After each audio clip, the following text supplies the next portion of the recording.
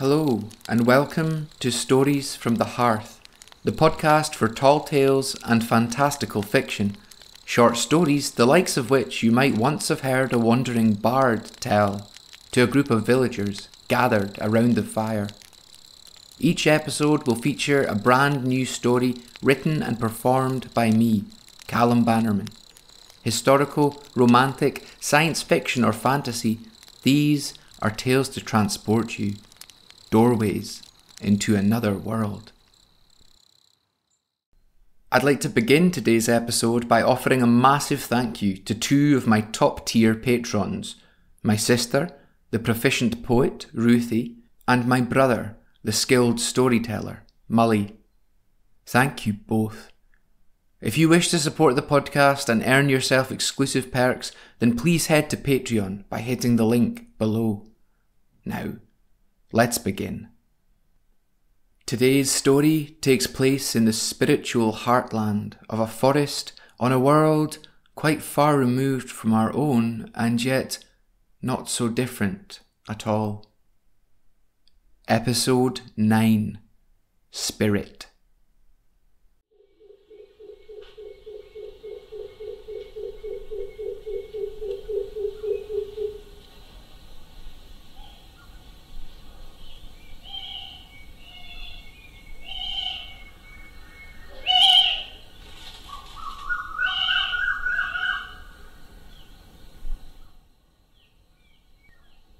It's the smell I notice first. At this altitude, the air becomes quite thin, breathing is constricted, and it gets so that my head feels both light and leaden. Behind me on the trail, my daughter, Pasha, jokes light-heartedly with our local guide. Sweat laces her forehead, but other than that, she shows no signs of tiring. Her thighs are muscular, her posture assured. As she scrambles on, she stoops to pluck a fallen fruit from the forest floor, the motion singular and smooth. It is a shia shia fruit, big and red with a fist-sized stone at its heart. Briefly, I wonder why it's fallen. Shia shia doesn't usually ripen until late summer, and at this time of year, even the ochuck, the most voracious and least picky of mountain primates, would have found shia shia fruit too bitter to eat. Soon, however, the thought passes, for there's that smell again. Perhaps Pasha and the guide are yet to smell it, otherwise my senses are becoming muddled with the altitude, for to me this aroma is too intoxicating not to notice. Jungles are, of course, naturally pungent. The jungle is a perfume factory, an olfactory embalming station. Think on it a while. A million undocumented species defecating, vomiting, ejaculating into the canopy and across the jungle floor. Big cats spraying the borders of their territory. The scent glands of rodents, reptiles, and worse working overtime in cyclical attempts to find a mate the carcasses of aging prey mouldering with last year's foliage. Not to mention the inorganic stench produced by some of the plants in this place. Did you know that the hua hua plant actually produces a smell worse than rotting flesh?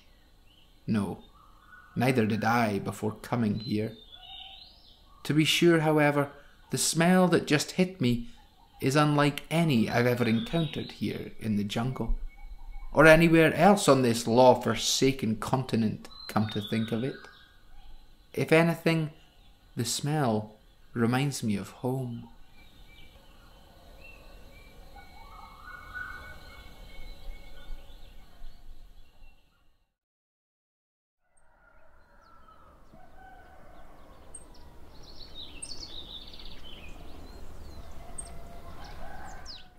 Papa?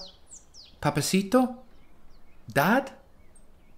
He comes back to me from some distant daydream, the optical mist of cataracts more noticeable than usual today. But it's not the cataracts which give him pause for thought, which stop him from recognizing me for a moment. Dad, this is Onyongo. They've agreed to guide us as far as they can. The path is dangerous, but I will take you. Onyongo interjects, their voice wavering. They seem meek in the lengthening shadow of my father. Onyongo is four legged and entirely hairless. On their hind legs, they would stand head and shoulders above my father, but to do so would be seen as an open act of aggression in their culture. I wonder all too late whether the upright stances of my father and I are what's putting Onyongo and the rest of their people on edge. But then I remember the mountain and the rumours of what lies at its crater. Onyongo, I continue, noticing Dad's silence, this is my father, Professor Anton Trujillo, resident field researcher at the Academy of Interspecies Archaeology in Zembla. I believe you've heard of him. I don't believe. I know. The only reason I was able to convince Onyongo to enroll as our guide was because of his apparent interest in my father's work. I know the answer to my question, but I have a feeling that the only thing going to lure my father into conversation is conversation about himself. You follow my work, eh, boy? Onyongo shakes their head enthusiastically, which in their culture means yes. Their species has no concept of gender, let alone the word boy, and for that I am quietly relieved. This will be something like the hundredth expedition I've joined Dad on, meaning it'll be the hundredth time I've had to endure his manner of interacting with the locals, and non sapien locals at that. And how do you listen to my lectures then, eh? My father chuckles and turns to me. Suppose he must pick up Zemblan radio with those dishes of his, eh? he nudges me with an elbow, proud of his joke. Cónglín yōulíng, or Kongs for short, the species to which Onyongo belongs, are, it has to be said, endowed with the most tremendously disproportionate set of ears I've ever seen. And to be fair to my dad, they do bear a striking resemblance to radio receiver dishes. Paler even than Onyongo's skin, the ears of Kongs are the size of dinner plates, with auditory canals wide enough to put your fist through. Given the likelihood that detritus falling from the jungle canopy would become lodged in ears this size, the Kongs have evolved a network of intricate aural muscles. These muscles allow Kongs like Onyongo to fold their ears closed, kind of like flowers blooming in reverse. As it happens, this evolutionary quirk also allows Kongs to acutely extend the effective range of their hearing, similarly to how we extend eyesight with the use of a telescope. That being said, my father, though highly educated in the biological, psychological, cultural, and theological behaviours of our world's various sentient species, is currently exhibiting no more interest in Onyongo and their satellite ears than he might at finding a worm in his shoe. Thankfully, Onyongo is not deterred. My people commune with the earth, Professor. We hear many things. They point back toward the top of a small rise where perches a rudimentary comms tower. Also, we have radio. My father is barely paying attention. I study the crude shack and wonky receiver pole with a heaviness in my heart.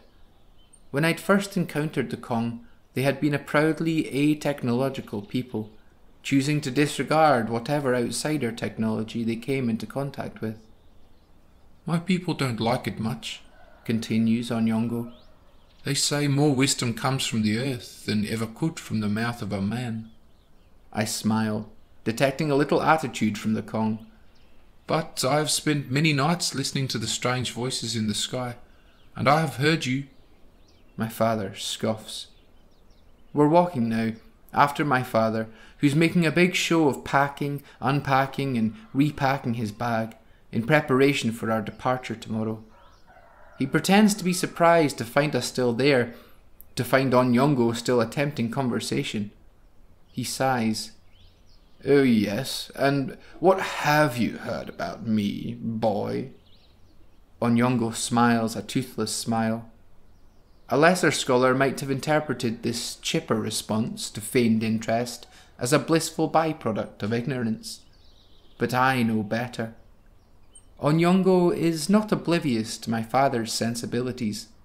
From our earlier conversation, it is clear Onyongo knows enough of Professor Anton Trujillo to be as wary of him as they are excited by the prospect of meeting him. No, I think there's more to Onyongo than meets the eye. Why else would anyone put up with the old man's insufferable bullshit? I heard your lecture on the Hainu of the tundra. The words, though awkward in Onyongo's heavy accent, are spoken with confidence, despite the fact that the Kongs have no photographic materials, nor any place within a thousand miles which might even slightly resemble the bone aching cold of the tundric regions. They continue. I learned about the Hainu, how they live their entire lives in the water, They shiver. how they dive for food. I, I learned of the machine they found. My father stops mid movement, his arm jammed in his bag up to the shoulder. Slowly, he withdraws it, rolls down his sleeve, and fastens the cuff. He turns to us. Holding Onyongo's gaze with something approaching sincerity, he speaks directly to our newly acquired guide for the first time. Then you know why I am here. Onyongo shakes their heads solemnly, and I have to remind myself once again that this means yes. I think you are here to see what you could not see beneath the water. My father clicks his tongue. I think you are here for the same reason my people had to acquire our radio. Which is what? My turn to interject now. The careful way in which Onyongo selects their words, the taut silence of my father, the locked stare held between these two beings, Kong and human, all makes me uneasy. After a while, deciding that they will not hear anything more from my father on the subject, Onyongo turns to me. But they do not look at me. Instead, they turn an ear to the forest floor, furrowing their brow. If only you could hear the earth. they say, and I sense that this means more than I can comprehend. And now they take my gaze, their eyes shiny, lacquered with tears. The forest, it's failing, Pasha, and my people fail with it.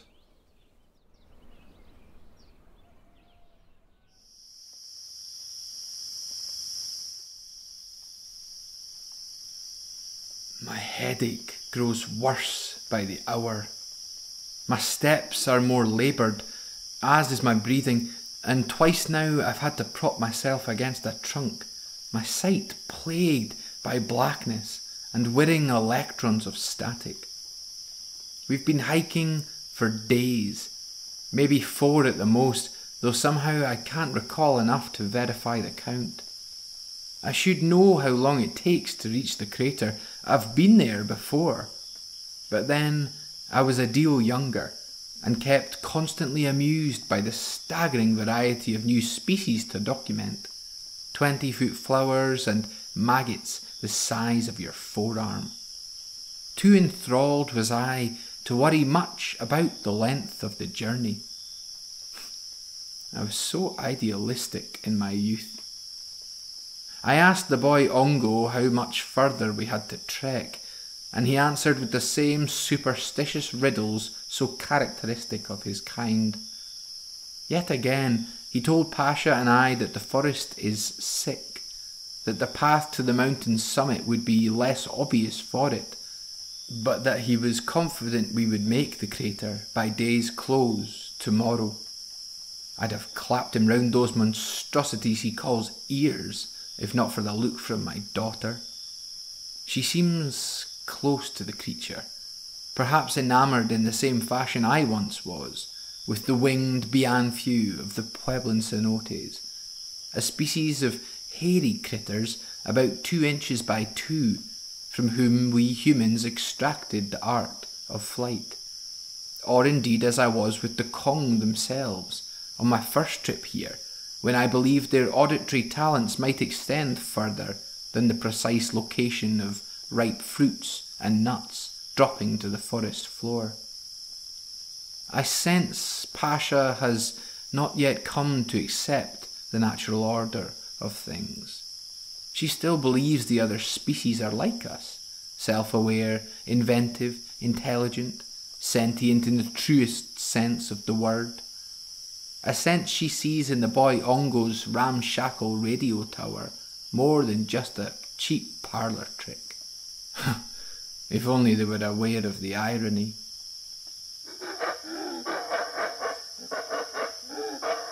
A clamour in the forest distracts me from my thoughts. The shrieks of warring ochucks pierce a night already full of noise. I can't tell exactly how close they are, but their cries are disconcerting, somehow warped, somehow painful.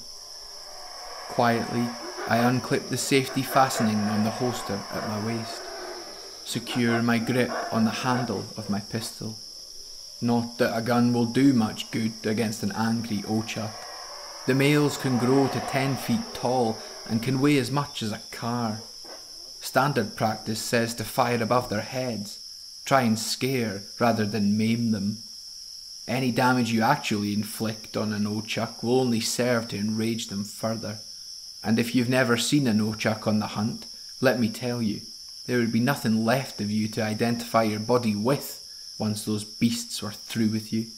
Not even a scrap of clothing.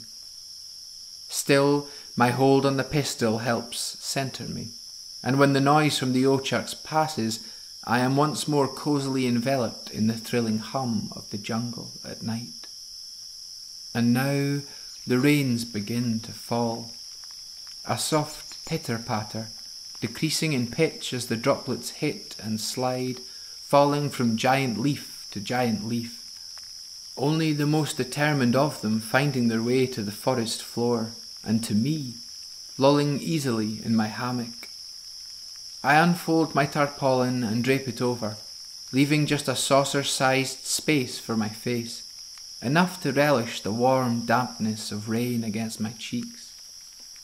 As sleep takes hold, I dream of the crater, as it was all those years ago, denser with flora and fauna than any place I had ever visited.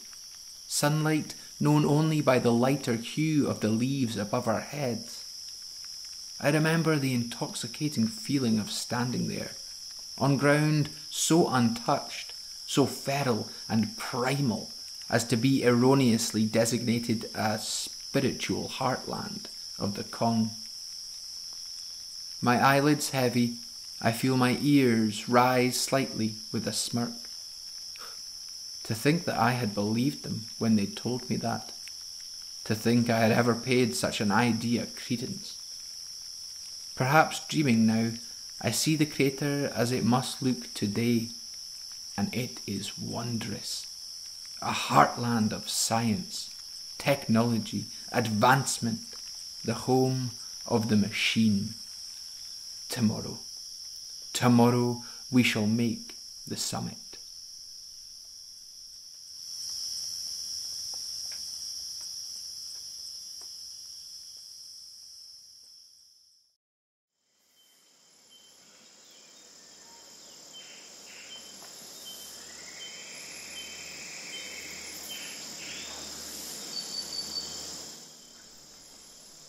Your country is so beautiful.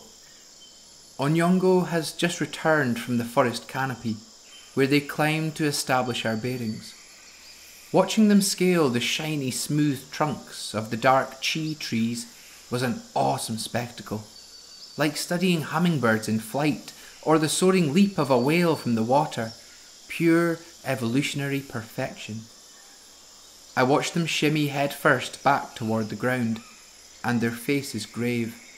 Could they not hear me?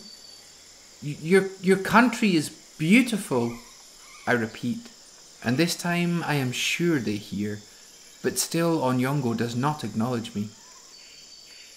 The expedition has been fraught since we left camp. There is a strange metallic smell in the air, one which cuts clean through the many layered complexities of the forest's aroma. The Kong's faculties of smell are limited, but I sense that when Onyongo places those big dinner plate ears to the mulch at our feet, they hear a disturbance akin to the smell clotting my nostrils. What's more, my father refuses to talk to them, except in short tempered outbursts regarding our apparently slow progress. He has been increasingly irritable these past few days and is beginning to show signs of paranoia, grumbling that we've passed this or that landmark before, complaining that the fruit Onyongo finds him is rotten, that they keep the ripe stuff for themselves, for me.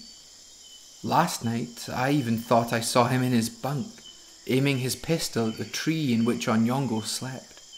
Of course, it had been a trick of the light, a thin strand of moonlight glancing off my father's wedding band which he still wears after all this time. Still, I should not have to worry that he actually might pull such a stunt. Onyongo lifts their head from the ground and shakes a little bracken from their earlobes before manipulating them into the shapes of budding flowers. They point their telescoped ears uphill and listen. Fifteen feet from us, my father sharpens his bowie knife against a rock in abrupt, protracted movements. The sound grates. After a while, I break the silence. What, what do you hear, Onyongo? They look confused. I don't understand. From the treetops, I can see where the mountain levels out, at the lip of the crater. Though we come here only once in our lives, I would not forget the joy I first felt at that sight. But I ask, half concentrating on Onyongo's news, half concerned by my father's reddening face, caught out at the side of my eye. Dusk approaches, and Dad looks ready to remind Onyongo yet again that he was promised we'd reach the crater by sundown. But, continues Onyongo, I cannot hear it. They catch my gaze, and I am unprepared for the depths of sadness contained within those eyes, as blue black as the night sky and shining. Sound is how my people navigate. If we are lost, we ask the earth to guide us home. If we have something to find, we need only listen. When we reach maturity, well, they nod to me and then to my father, but are unperturbed by his returning glare. You both must already know. You've studied us enough. We come to the crater to find our true names, our spirit names. We are given no direction, and we must use our bond with the earth and its sounds. Only by the song sung at the heart of the mountain can we navigate toward it. But today, Onyongo lets their heads slump. Today the mountain is quiet. Right, that's it. Enough of these fucking riddles, ape man. My father's face is beetroot, his teeth grinding so furiously that I can hear them above the whoops and shrills of the jungle. Though, as this crosses my mind, I realize how utterly still the jungle really is. Thought you'd take a leaf from the Hainu's book, did you? Heard from my lectures how they led me astray in the tundra? Thought you'd give me a run around too, did you? Father towers over us, the newly honed edge of his hunting knife flashing as his hands tremble in the dying light. Slowly, I rise to my feet, step between him and our guide. He seems to look right through me, the will of his anger insurmountable. As I touch his knife arm, he flinches and jerks towards me. It's a split second before he recognizes me and my intent, and his face changes frustration giving way to guilt. Oh, Pasha, he begins, but I cannot look at him. I'm sorry, Pasha. It's I. It's just the smell. I, I can't. And he said. My father trails off. Behind me, Onyongo has risen onto their two back feet, a perplexing look in their eyes. Though I know they mean me no harm, though I know exactly to whom they mean harm, still I feel the hackles on my neck raise in alarm, feel the drop in temperature as their immense shadow falls over me.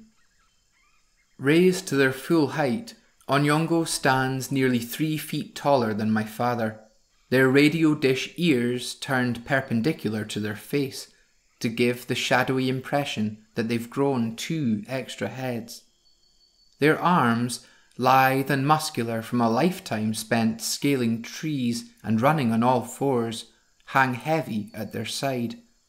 And I feel that not uncommon mixture of fear and arousal at the sight of their shoulders, taut and supple, tendons pulsing between them and a neck as solid as a tree stump. I am half expecting my father to say something stupid. He was the sort of man who would sooner welcome injury than see his masculinity slighted. But apparently, even his machismo had limits. Without needing to turn, I hear him retreat back to the safety of his rock.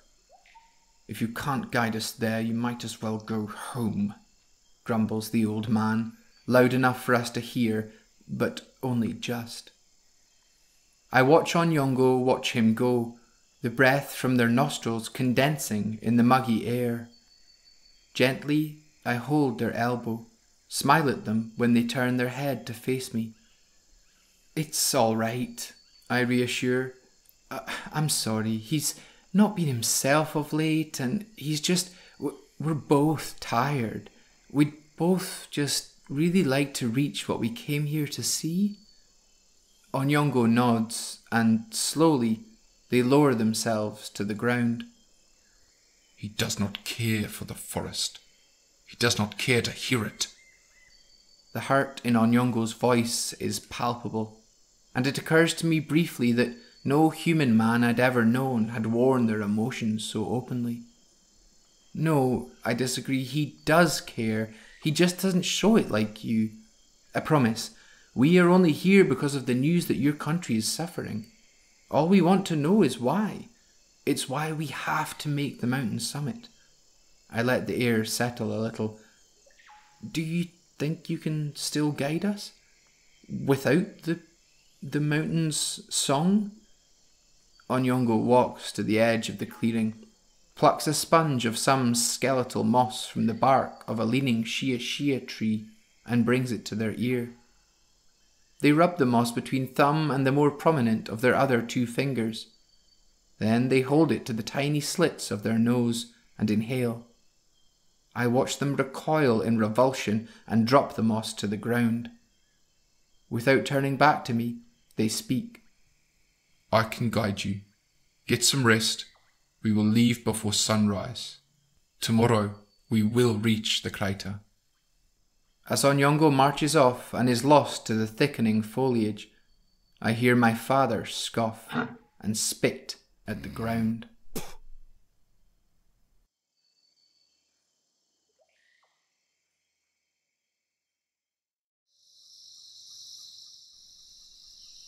Unsurprisingly, the beast has abandoned us. I woke to sunlight and Pasha calling its name. It revealed its true colours yesterday. No more than a hybrid Ochuck, an ape, an animal who, as I suspected, had grown far too close to my daughter, become territorial, possessive of her even. I should have acted when I first saw the signs. I should have better remembered how its kind reacted on my first visit, when their spy learned of our plans for the crater, the mountain's spiritual heart. These animals wouldn't know a gold mine if one hit them in the face. Pasha didn't want to leave our camp without finding the guide. Law, she near enough accused me of its disappearance, as if I cared. Eventually, though, I brought her round. We've been marching since breakfast. More of that rancid fruit which Pasha says tastes fine.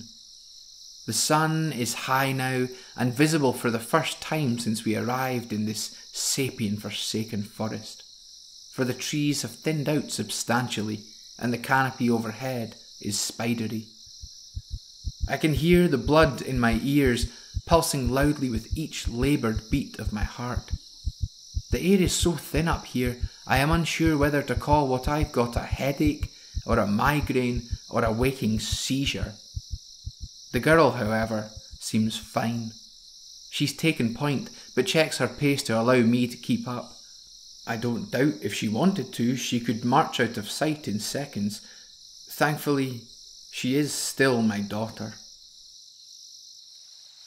We've stopped by a spring to refill our hydration packs. Despite the built in filtration system, though, I must admit that I've retched back up my first swallow of the liquid.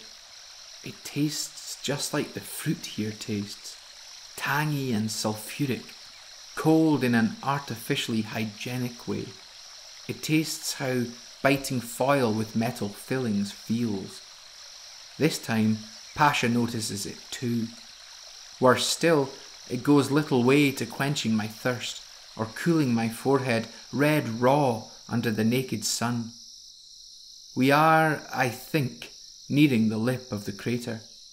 Pasha pushes on harder, and there are certain characteristics twists in the path, folds in the terrain, shapes on the peripheries, which register somewhere in my memory. Despite the tight, throbbing excruciation in my brain, the dryness of my throat and eyes, the dizzying disorientation of vertigo, I think that somehow my body recognizes its whereabouts all the same. Hmm. Perhaps the brute was right. Perhaps we will make the crater today. Father has been mumbling to himself all day. Occasionally, I hear him laugh, as if in merry conspiratorial conversation with another, and he's burning up. He looks, well, no. I was going to say he looks fit enough, but that would be a lie. He looks thin, and not in the mountain man, stringy yet muscular sort of way. He looks emaciated. His skin has turned pink as raw salmon under the exposed sun, yet he refuses to cover up and has removed the several hats I have forcibly placed on his head. He complains constantly. Most recently, it's that the water, freshly sourced from a mountain spring for law's sake, tastes acrid, or bitter, or metallic, or something. Granted, there's something off about it, something reminiscent of the scent, which grows stronger every mile we trek. Unpleasant and unsettling, perhaps, but surely not unexpected. We know there's something wrong with the forest. Onyongo told us so. Plus, it's not like the water's undrinkable. Onyongo. My heart bleeds. Father said in one of his few lucid moments that they must have lied about knowing the way, that they've grown embarrassed and defeated by the trail and have simply turned tail. I don't believe him. Not after that performance yesterday. Onyongo may well have turned for home, but they've done so out of honour, if anything. They bared their chest yesterday, stood up for me quite literally in a moment of perceived need. But in doing so, they broke a sacred cultural tryst, and lest they bring this feud between my father and themselves to blows, I think they have decided it better for all involved that they remove themselves from the situation. Up ahead, there is a break in the trees, and then nothing. Nothing but the wide, blue expanse of the sky. Father! I shout. Up ahead! I, I think. I, I think we've reached it! My father, his knees shaking with every stride, his jaw churning manically through a whispered conversation, stops dead. He looks past me to the break in the trees and then turns to meet my gaze. He grins, and in his face I see some semblance of the courage, the intelligence, the passion which won my heart to his cause as a child. Well done, Pasha, he says, and I am back in my school uniform, presenting him my final year results. Bloody well done! Marvellous work! and without another word, he pushes past me, up into the dissipating brush. Slightly dumbstruck, it takes me a while to find my legs again, but when I do, I'm stepping, jogging, running up the last stretch of mountain, hot on the heels of my explorer father, momentarily returned to his former vigour. Perhaps, I think, this was all he needed. Looking back, it strikes me as odd that I didn't notice the silence, or rather, the ceaseless blue bottle hum which filled the air, smothering all other noise. It seems strange that I did not heed Onyongo's warnings earlier, or pay closer attention to the forest dying around us. And yet, I didn't. I hadn't. Too caught up in my father's expeditionary goal, too enthralled by the stark beauty of even this decaying jungle, to notice what someone familiar with the setting would have been immediately alarmed by. None of it hit me until we reached the lip of the crater and looked down. The heart of the mountain is barren, fetid, ugly. It is chewed up, torn out, remorselessly scarred, and at its centre rises 100 feet tall the source of the tinny, unnatural sound, the metallic smell, the poison. Corkscrewed into the earth, stabilized by four sheer silver legs, is a massive human made drill, a monstrous satellite swiveling mechanically on top. Papa? Pa- Papacito? Dad? Mm. My father grunts in response. Dad, what in law is that? I whimper.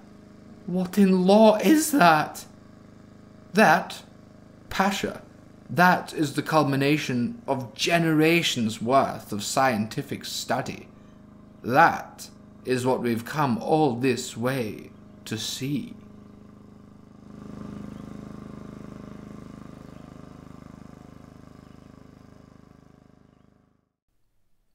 The Zemblan Academy of Interspecies Archaeology. The name itself was our own little joke, alluding to the common fate of the extant species we studied. When I started there, I first learned of the Academy's founder, another Anton Trujillo as it happened, one to whom my colleagues and students simply assumed I was related. A great great great grandson, perhaps and who was I to correct them? Now, as resident field researcher, I'm past the point of being questioned as to my lineage. The matter is, as we archaeologists like to say, written in stone. I was a fiery young buck, if I remember correctly, fresh out of university, my head full of wonderful assumptions and amateur calculations regarding the world around me. I was eager to travel, eager to meet, no, eager to befriend the many so called sentient species I had read so much about in the textbooks of Greater Nordvig. I still remember my first assignment in the field. Myself and a handful of other young hopeful graduates were tasked with clearing the lands of a Kwangwu tribe free of landmines, left over from a war with another Kwangwu tribe. The Kwangwu were an amphibious species of slimy, cold blooded animals, genetically gifted with the unique ability to detect almost any mineral or metal, whether natural or artificial, hidden or in plain sight, using only their mind. A sort of psychokinetic sonar, if you will. We arrived in their lands excited to study our first sentient species, to learn their language and teach them ours to converse and to exchange ideas, technology, wisdom, we arrived eager to help them bring about peace between their tribe and their enemies. What we found, however, was a pitiful, strung out community of dirty little creatures, too afraid of us to listen to our warnings. I remember watching in horror as one Kwong Wu after another was blown to a squelchy green gloop having hopped onto a mine they had somehow failed to detect. We cleared the minefield all the same, not that there were many survivors of that land left to thank us, and returned to Zembla. It was only years later, when organising a similar assignment for my own batch of graduates, that I learned the truth behind my inaugural expedition. You see, that tribe of Kwang Wu had never been at war with the other. In fact, the Kwang Wu were, by their very nature, pacifistic. As such, they had no concept of trip mines, nor of war. The fear they greeted us with was a leftover from their only other interaction with humans, when professors from Zembla Academy had first made contact with the species, conducting various tests to determine the usefulness of the Kwang Wu's powers, including, of course, by sowing their fields with mines for them to detect, or, as happens, not to. Point being, despite their sentient status, these miserable slimy creatures had absolutely no concept of pragmatically applying their biological gift. According to our studies, though their genetic makeup allowed for the psychokinetic detection of just about every known elemental and chemical compound, these things had only ever used their gift to search for the crystals, ochres, paints, and gemstones which they used in their art. Here was a species supposedly on the same evolutionary rung as Homo sapiens, endowed with the most incredible of talents, and yet which could not detect their imminent explosive death for want of a sparkly sculpture or a pretty picture. I am so thankful for that experience, and I reward those students of mine who are similarly thankful for theirs. For the first time that one learns of the true order of nature is the first time one's mind opens to the true boundlessness, the infinitude of humanity's potential for evolution and advancement. If a beast cannot harness its own potential, then we must harness it for them. Such is the reasoning I wish my daughter could see as we crest the lip of the Kong's precious mountain and look down upon Unit C4 of the Zemblan Academy's research and development sector.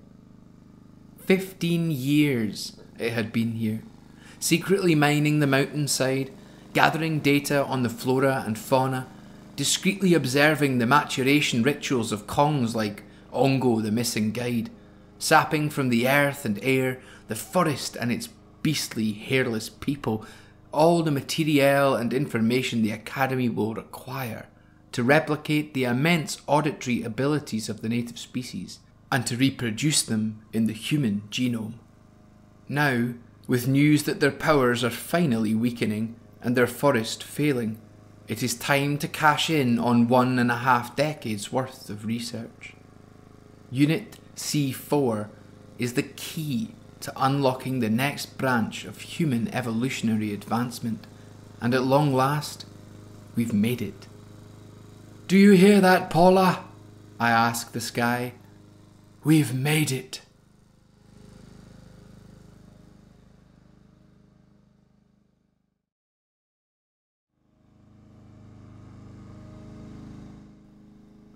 The heart of the mountain has been rendered anemic. The giant machine at its core seems to act like some sort of syringe, and the disease which it injects is spreading. The stunted growth of plant life, the silence of the forest, all of those small signs which I ignored earlier, here I have found their origin. The crater is akin to a bomb site its earth, as we begin our descent, is slippery with decay. Tree trunks and animal matter squelching beneath our feet, a black, oozing quagmire. Nothing grows, everything is dead, and the air reels with a cold, automated hum. The sprightliness which had fueled my father at the lip of the crater has waned again. The air at this altitude is thin, certainly, and the heat of unbroken sunlight heavy on our necks, but neither can quite explain how deathly he looks.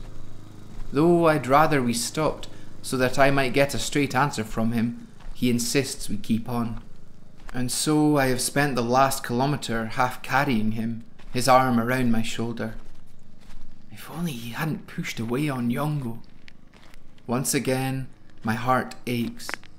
If Onyongo could see what I see, if their people knew the extent of the damage rendered to the spirit of their heartland, I fear I cannot imagine how they might react. At my side, Father's coughs descend for the umpteenth time into a debilitating fit. We are forced to stop, though I cannot even set him down to rest, for the sucking decay of the earth has risen to our knees, and I might never pull him back out. Clumsily, he produces a handkerchief from his pocket and hacks into it. I am preparing myself to see it come away bloody, like some industrial era wife observing the onset of consumption in their loved one. But I am not prepared for what I do see. My father's lungs expel onto mother's hand embroidered hanky a blue, black bile. he tries to hide it from me, but I see it, and I see the similarity between it and the decay all around us. He sups from his hydration pack, but this only turns his stomach, and after regurgitating what little water he was able to take, he looks paler and sicklier than ever. Somehow, still he tries to press on. I stop him, hold him back. Papa, he grunts. Papa, I say as forcefully as I can. We're turning back. Whatever this place is, it's no good for you. You're sick, Papa. Stubborn, he strains to speak.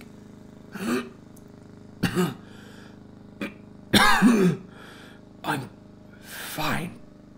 I'm fine, Pasha. Can't turn back. Too important. what could be so important, Papa? You always push yourself too hard. I can tell he isn't listening.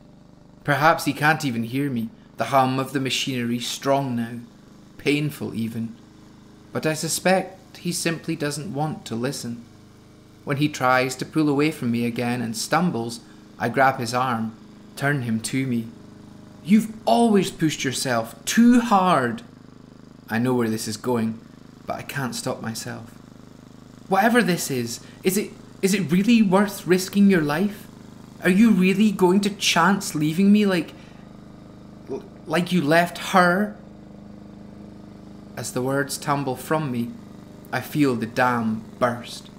Years of unprocessed grief spouting through the cracks, their onslaught unstoppable. You left her, Papa. You were never there for her. You weren't there for her when she needed you most, Papa.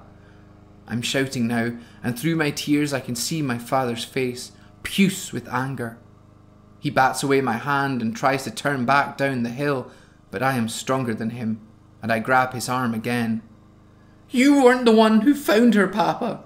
You didn't even read her note. She said she was. She said she was ashamed of you.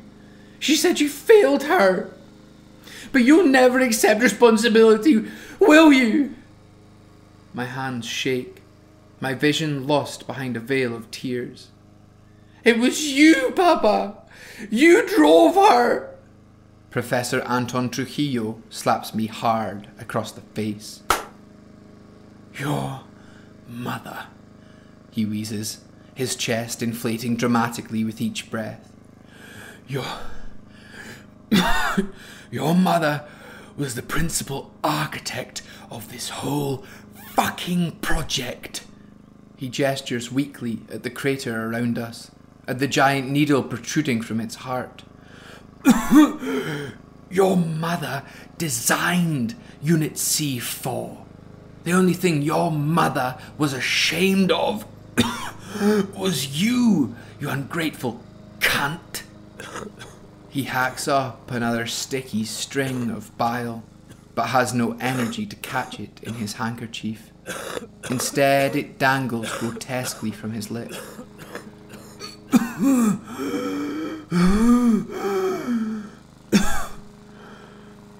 I failed her. His face contorts a little, as if unsure whether to go on.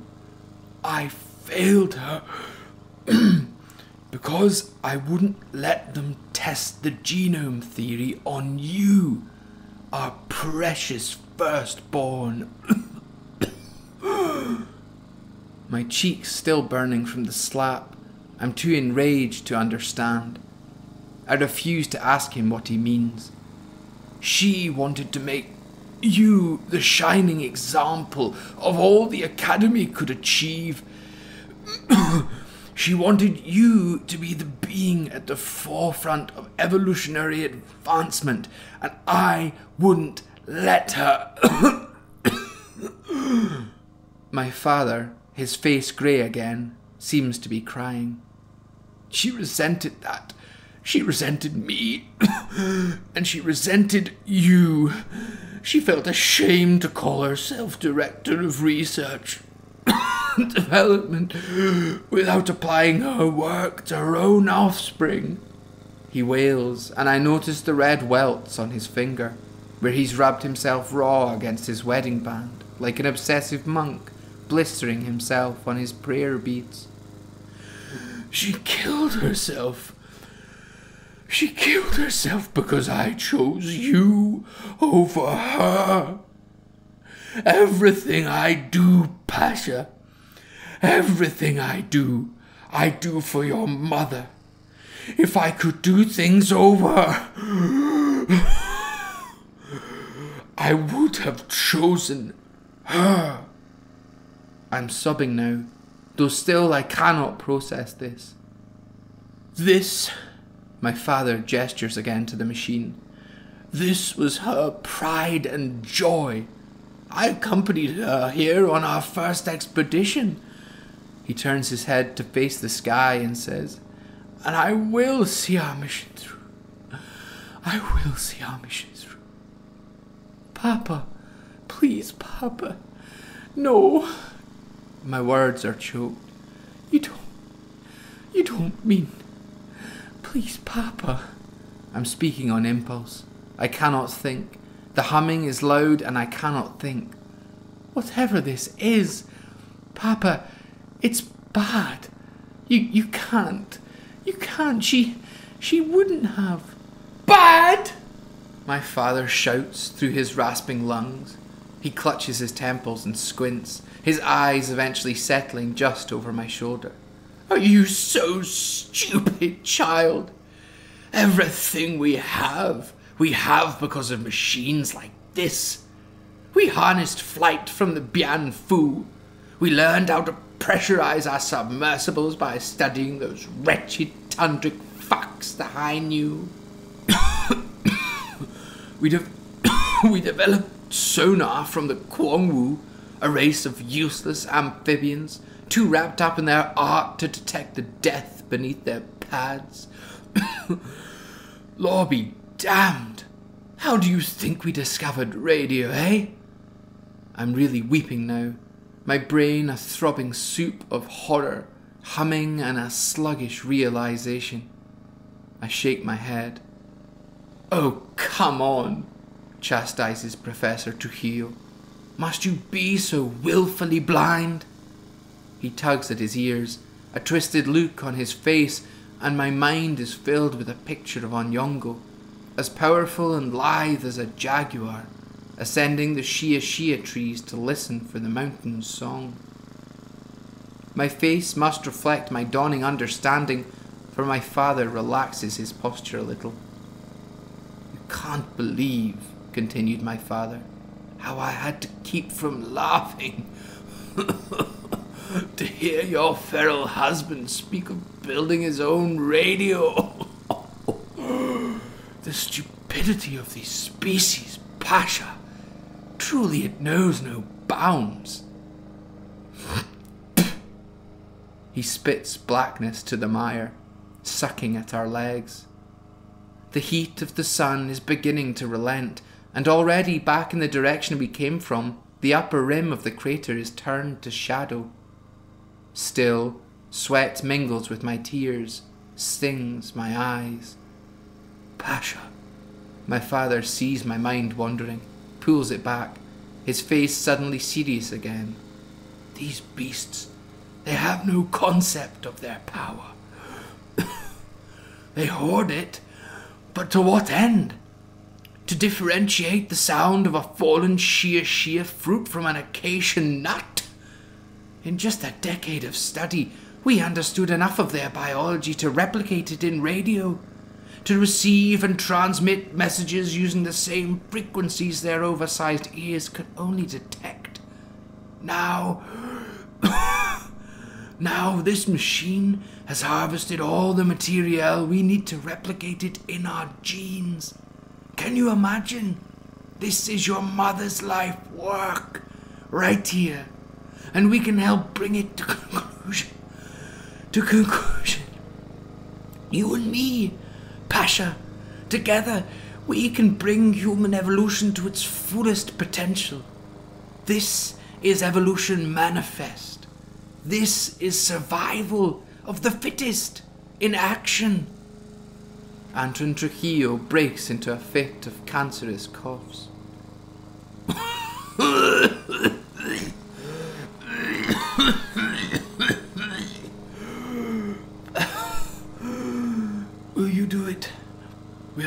Will you, Will you take my hand? But before my father can hear my answer, the humming of the giant drill suddenly ceases. The satellite dish, which had been swiveling relentlessly since I'd set eyes on it, creaks, and then it too stops. And from the base of the crater comes a blood curdling cry.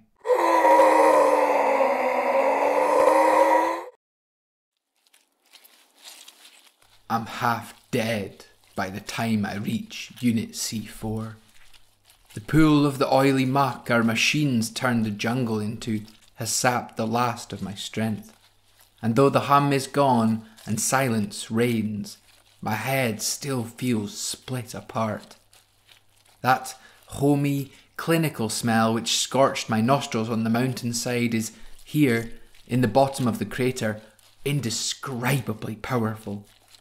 It seems to crawl over everything in a dense mist. Though I cannot be sure that I'm actually seeing this, my senses are so muddled. Unit C4 should not have stopped like that. It has not stopped operating, mining the jungle, collecting biological samples, studying its inhabitants, and broadcasting us the results for 15 years. Why should it stop now? Pasha, of course, ran on ahead of me. After our screaming match, it was no great surprise. I try not to think of what will happen if she continues contradicting the Academy. I try not to think of what the Academy will be forced to do. Reaching the first of the giant arachnid metal legs, I think I can hear conversation. But then I can hear the valves of my heart opening and closing like the flapping of loose leather sandals. And I can see almost nothing for the fog, for the shadowy depths of the crater now that the sun has sank. Nothing for the tight, pulsing circles of black which haunt and constrict my vision, for the stars which wheel across what little picture is relayed to my brain. I move closer. Each step tearing at my calves as if my boots are lined with rusted nails. The stinking swamp mud is now up to my crotch. I'm in sight of the ladder now, which extends from the ground to a platform around the base of the drill, and though I can see no one, I am certain now of the voices. People are always don't know what to do. I really don't know what to always. do. Like he, familiar voices too. At the foot of the steps, I begin achingly to remove myself from the mire. Two steps, three steps, four, each a bare knuckled duel with nature. When finally I am free of the mud, I cannot help but collapse, wearier than I have ever felt. Get up, Anton. You must get up. It is not my own voice I hear. You must go on. That voice soothing me, scolding me, rending my heart asunder. Whimpering with pain, I pull myself upright on the platform's handrails. The voices are close now and unmistakable. Okay. How stupid could I have been to think the brute had returned home? How could I not see his betrayal? Got to do this stuff. And my daughter. I realize only now that I had known of hers for a long time. You don't have the heart for this, Anton. It's her voice again. Only a memory, but I have to stop myself from crying out. She's not yours to give, I hear myself plead, in a migraine bright hospital ward a lifetime ago. And I smell the smell of that ward too, replicated here in this crater. Through the folds of time comes my wife's response, hissed through gritted teeth of converging contractions. Neither is she yours, Anton. Suddenly, I hear that frightful yell again, the same which preceded the halting of the machine.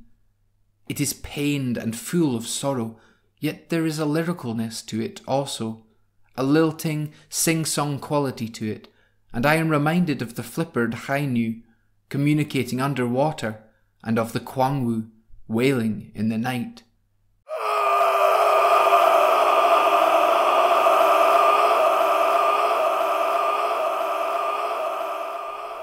This cry, however, is breathtakingly loud.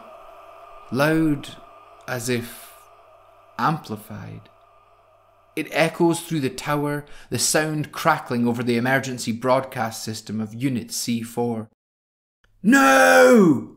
I roar, for I have heard this cry before, back when we first surveyed the area for landscaping, when the Kong spy discovered our plans. There were more of us then, though, enough to defend ourselves, to stop the word spreading. And back then, the cry had carried only as far as one voice could send it. Pasha! Don't let him! Stop him! Pasha!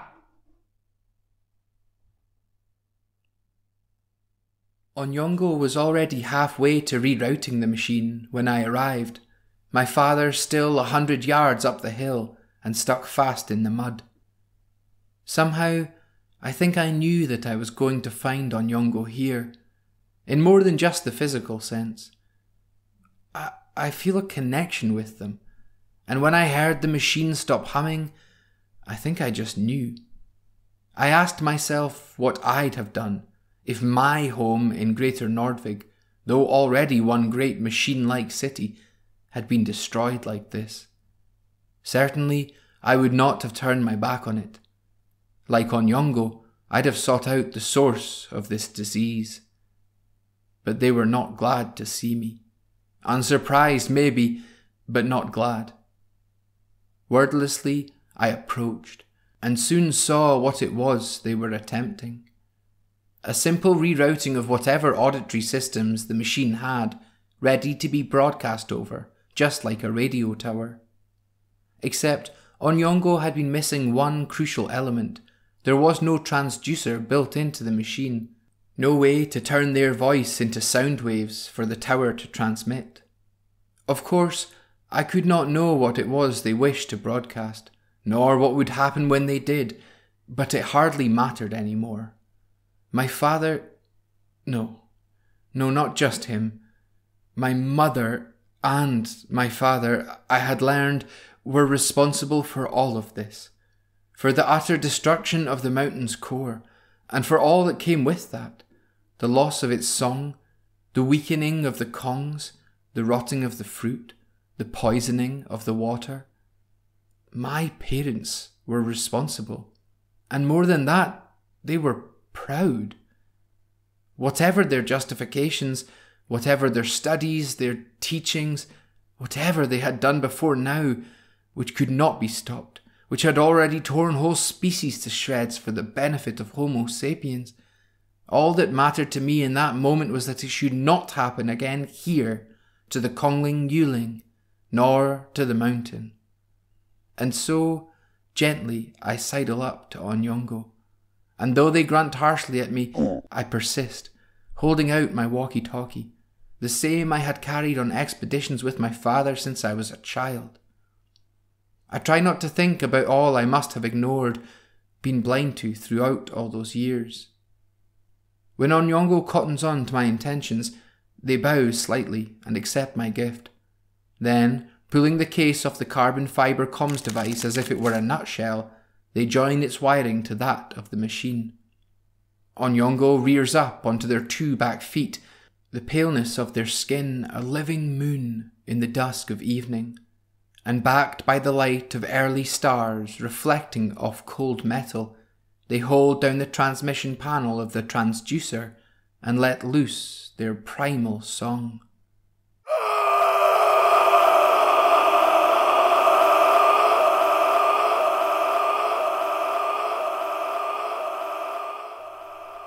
Across the wretched, barren wasteland of the mountain's core, it carries, echoes and returns, layering into one perfect choral note, in which I hear all of the sorrow a heart can hear, and more anger even than that.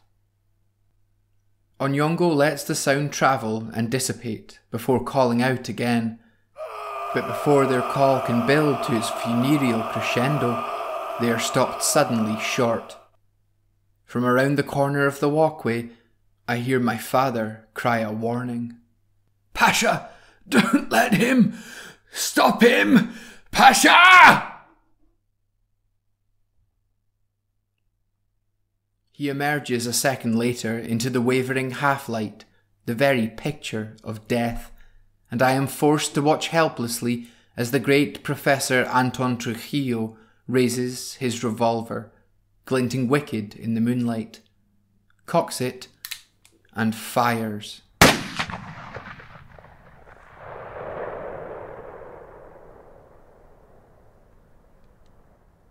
The ring of the shot meets the returning echoes of Onyongo's song. The sound warps and slips away into the night. A long minute passes before the mountain settles once more into uneasy quietude. Beside me, the massive muscular body of my friend and guide, Onyongo, slumps. Their blood, as vivid and verdant green as a spring sapling, glugs from a hole in their chest and spills across the gangway to fall dripping through the mesh patterned steel. Wordlessly, I fall by Onyongo's side. I take their head in my lap, those big, majestic ears now limp and lifeless. Slowly, their eyes fix mine, and I can see their spirit waning. I can actually see it waning, the magic of those lustrous pupils growing dull. Some part of me rarely indulged is tugged at, and I think I might vomit, but on my lips taste tears, not bile and I realize I am wailing. Papa! Papa, why? My father dead eyes me, his pistol still smoking in the thickening night, its tentacle wisps of gunpowder sinking toward the fog of the decayed jungle floor. His face is sheet white, and I am unsure he has heard me nor am I sure that he sees me, or even the death he has brought to my friend, for the very last of his dwindling energies are focused elsewhere entirely. And as I watch his face, wondering if it can possibly be the same face which peered down at me in my cot as a babe, which congratulated me on the day of my graduation, I see him strain his ears, so small, so inadequate, trying desperately to detect something amidst the silence. As I watch him, his eyes shine dark with terror. Onyongo hears it first, of course. They smile then, and somehow I know their call has been answered. Then, from the depths of the jungle which rings this mountain, up and over the lip of the crater and spilling down toward us, comes a low murmur. Slowly it rises, keeping time with the steady beat of a thousand bared chests. As I listen, it becomes a glorious, riotous crescendo of whoops and shrieks, of triumphant hoots and hungry snarls. Onyongo's muscles relax a little, and I hear my father whimper. Who chucks, he says. I look at him then, and in the place of the man I'd once known, soldier of science, pioneer of intellect and understanding, mountain man, is a scared little boy, cowering against the railings of his precious instrument. Oh, Chucks, he says again. Oh, Chucks. Oh, Chucks. Law be damned. We're too late. It's too late. he laughs nervously, fumbling with and dropping brass plated bullets through shaking fingers. Too late. He turns to me. Too late, girl. Too late.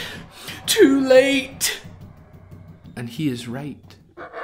From over the crest of the mountain comes an army of the biggest animals I have ever seen. They move like Onyongo did, graceful and muscular on all fours, their front legs longer than at the back, with shoulders massive and bulging. But that's where any similarities to my friend Onyongo stop. The animals' heads are as big as boulders, matted all over with a thick brown fur through which protrudes two sets of horns, an upper pair pointed outward straight as daggers, and a lower pair curved like hooks. As they run, they sing their battle cry, unhinging their jaws to reveal in the rising starlight row upon row upon row of serrated teeth. As they run, somehow maintaining their tremendous speed despite the mud, the ground beneath us trembles and as they grow close, I see their hooved feet stomp the ground, each one as big as my pelvis. The first of the Ochucks reaches the base of the machine. I hear another shot ring out and cough as the smoke from my father's revolver blows through me. Twice more he fires, each shot finding its mark in the thick, woolly skull of the nearest animal. But if the Ochuck even notices, it does not show it. It rears as I had seen Onyongo do, and from its terrible mouth comes a bellow of rage. Anton Trujillo unleashes a fourth shot into the animal's chest, and now other Ochucks have reached the machine to join their captain in its roar. My father fires once more before his pistol clicks, clicks, clicks. The chamber empty. No, no, no, no, no, no, no, no, no, no, he murmurs, frantically padding at his jacket. But too late. Though bullet ridden, the leader of the Ochucks begins ascending the steps to the walkway, its movements curiously easy, manoeuvring its monolithic frame as if it weighed nothing. I watch on, filled with something more complex than horror numb and yet also relieved, also intrigued, also ashamed. My father turns onto his stomach and begins crawling toward me and the dying Kong, mouthing garbled apologies. Suddenly, a great shadow falls across him. The Ochuck captain has reached the walkway and now it raises itself up on hind legs, blocking out the light of the new moon so that only its silhouette can be seen. Perhaps twelve feet tall and comprising some four thousand pounds of crude muscle. With a thunderous cry, the animal hammers the whole of its strength down upon my father. Its front two hooves landing on the back of his knees his legs severing instantly in two. My father's screams tear octaves through his vocal cords, eventually and quite suddenly drowned in the thick gurgle of black blood and bile spilling from his mouth. I feel nothing, and I cannot look away. The Ochuck, noticeably woozy now from the gunfire, bends its head low and slides its two massive, gleaming lower horns under what remains of my father's scrawny frame. The last I ever see of my father is a bundle of gory cloth, illuminated momentarily against the night sky as he is tossed through the air by the immense Ochak, who moves as easily as if he were clearing his path free of brush. Somewhere amidst the roaring waves of the Ochak's call, I hear Anton Trujillo's body hit the ground with a thud. From the corner of my eye, I see the animal hordes converge. My father's killer, however, this great bull or cow or chief of the Ochaks, is not yet satisfied. Beginning to wobble on its haunches, it staggers towards me. Inches from me, I see the fire in its eyes, blazing only fiercer for the injuries inflicted on it, and in those eyes I see death. As the thing rears up once more, a hot green blood slicking its fur to an estuary of lost life, mentally, I make peace with it. On me still clings the mud of the quagmire, the moulded remains of this being's destroyed home, for which I, me, my father, my mother, my people, are responsible. Here I lie, guilty, on the frigid metal of the machine designed to take everything from this creature, from all those creatures whose spiritual home we had made our playground. The Ochak cries aloud, and I close my eyes, terrified, yet accepting, and I wait. Wait for nothing. Nothing happens. After what seems an age, I open my eyes again, and the Ochak is gone. I catch only the brief flash of his tail as he descends from the walkway. In the moonlight, a thin skinned hand is raised in front of me, its three fingers held together in a command I can only guess the meaning of. Onyongo, their head lifted momentarily from my lap to watch the Ochak leave, collapses once more, their hand falling heavy to the walkway. Their head is heavy in my hands, and as I hold their gaze, I realize I am crying still, for their cheeks grow wet with my tears. Slowly, Onyongo turns an ear to the metal of the giant machine. They listen and as they do, they run their fingers across its surface. My people, they say. Their words are as fragile as a remembered kiss. My people say that spirit moves through all things. But. Pasha, they were wrong. There is no spirit in this thing, no song it is quiet, cold, no spirit, no spirit.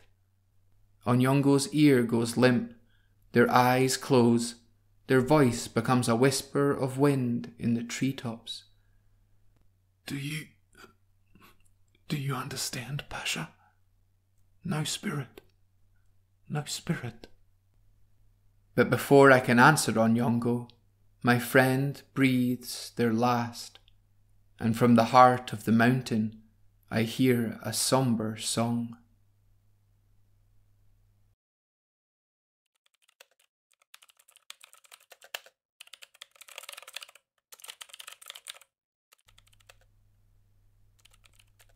It's been four years to the day since that night on the mountain. Unit C4 was dismantled by the Ochaks though they let me leave before I came to any harm. I tried, of course, to take Onyongo with me. I thought that if I could at least bring them home, I might atone for some of the damage my kind had wrought. The Ochaks would not let me, though. Back then, I'd been angry, but I think now I understand that Onyongo was already home. The mountain is slowly recovering, and this year the first few flowers and saplings have returned to the crater. I like to think that in them will be some of the pride and strength and ferocious beauty of Onyongo and all the other lives which were claimed by that machine. Upon my return to Greater Nordvik, I worked to dismantle what my father and mother had helped build. I started by approaching some journalists I knew, and together we exposed the genocides conducted by the Zemblan Academy. We showed the public what they had done to the people of the Kong, and we dug deeper. We discovered how the amphibious Kwang Wu were tortured and experimented on before being exterminated, how the wings of the nocturnal Bianfu living in the cavernous Pueblan cenotes had been pulled from their still breathing bodies in the name of scientific discovery or of how, as my father and I had trekked the mountainous regions of the southern islands, the ice caps which were home to the aquatic Hainu were being melted by the machine drilled into the seabed. We exposed the experimental genome program too, and the many thousands of children who were already the test subjects of it, as well as the many more thousands of parents who had signed up for it in the first place. The Zemblan Academy soon collapsed under the weight of public outrage. Its schools were stripped of their funding, and several members of the R&D department, which once my mother had directed, were given intensive labour sentences, sent to help the species they'd strived so hard to destroy rebuild. Still, the outrage hasn't lasted long. Not once people started realizing that their radios and aerocopters, picture boxes, sonar, and more had all been made possible thanks to the work of Zembla's Academy of Interspecies Archaeology. Even now, as I write from my new home on the coastal mountainside of the Kong's heartland, there are those in our world who are beginning to spout that same recognizable old vitriol regarding a hierarchy within the species. They do not see the scars on the mountainside, nor the latest generation of Cónglín yōulíng, many of which were born deformed or paralyzed, their parents poisoned by forage and river water tasting metallic and acrid. They do not hear the mournful wail song of my friend Onyongo underscoring their nightmares. They can never remember the feel of the mud sucking at their thighs comprised of a million lost lives, plants and animals killed and consumed by that most banal of butchers, the human machine. They cannot see the look in Onyongo's fading eyes, who died too soon to hear my answer to their question. And my answer? I think that at long, long last, I do understand. I understand that whilst they could hear no spirit in the empty metal of that gruesome machine, still spirit moves through all things, and more wisdom comes from the earth than ever could from the mouth of a man.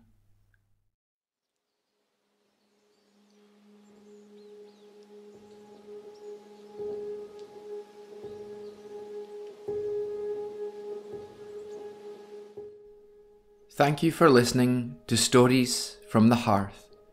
With today's story, I wanted to try and write something that would sit between my two favourite genres, science fiction and fantasy.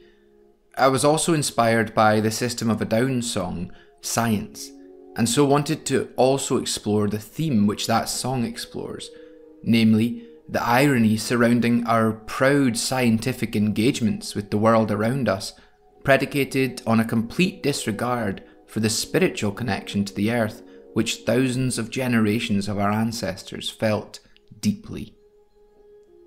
If you liked what you heard, please do subscribe and share this podcast with friends, family, and anyone you know who could use just a half hour's respite from the chaotic energies of the everyday.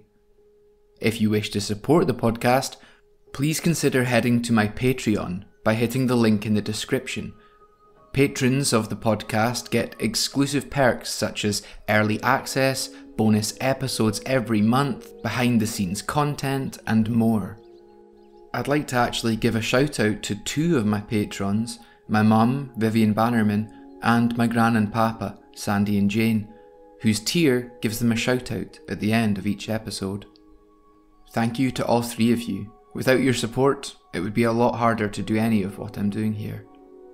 Similarly, you can check out the podcast's Instagram, Twitter, and website via the links below.